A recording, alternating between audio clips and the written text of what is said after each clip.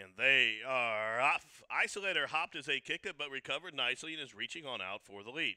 He'll have company though, as Culver displaying speed from between horses. Bain is forwardly placed, as is Royal Kitten, so a real logjam up front as they all vie for early supremacy. Meanwhile, Isolator with the lead and defense has quickly cleared off to open up two to Royal Kitten who will track from second. Culver is to the outside of that one in third. Bain is taken in hand, shuffled back to fourth. Bronze Beast out in the clear while racing fifth. Cowboy Hippie away in the sixth position, already about eight or nine off the lead. Then comes a Killer Bee, who's shaded by Cancelara, who's on the move. Also, there goes uh, Saving Mama, who's uh, splitting horses there and heading up the backstretch. Starting to pick him off, has already raced up with about six lengths off the lead. Then we trail back to Perfectly Painting, and Man Down is way out at the back.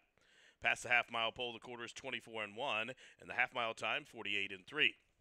No excuses here for Isolator, left alone on a clear and uncontested lead, controlling the tempo with a three-link cushion as Royal Kitten is shoved on for some speed. Cowboy Hippie advancing to the inside, up to the outside. Bronze Beast loops up gamely, and now all of a sudden Royal Kitten has found his feet. So here they come racing around the turn. Isolator confronted by Royal Kitten, who claws his way to the top, but it's Bronze Beast who's the danger to the outside, and also gaining ground as they race towards the top of home stretch from the backfield. Cancelara wide open four across the course. Here's Cancelara up to the outside of Bronze Beast. Meanwhile, Saving Mama is gaining ground but wondering about the course. Here's Cancelara who's forging to the front as Saving Mama is trying to get, to get him to the outside. Meanwhile, Royal Kitten is coming back, but Cancelara is gonna get it done.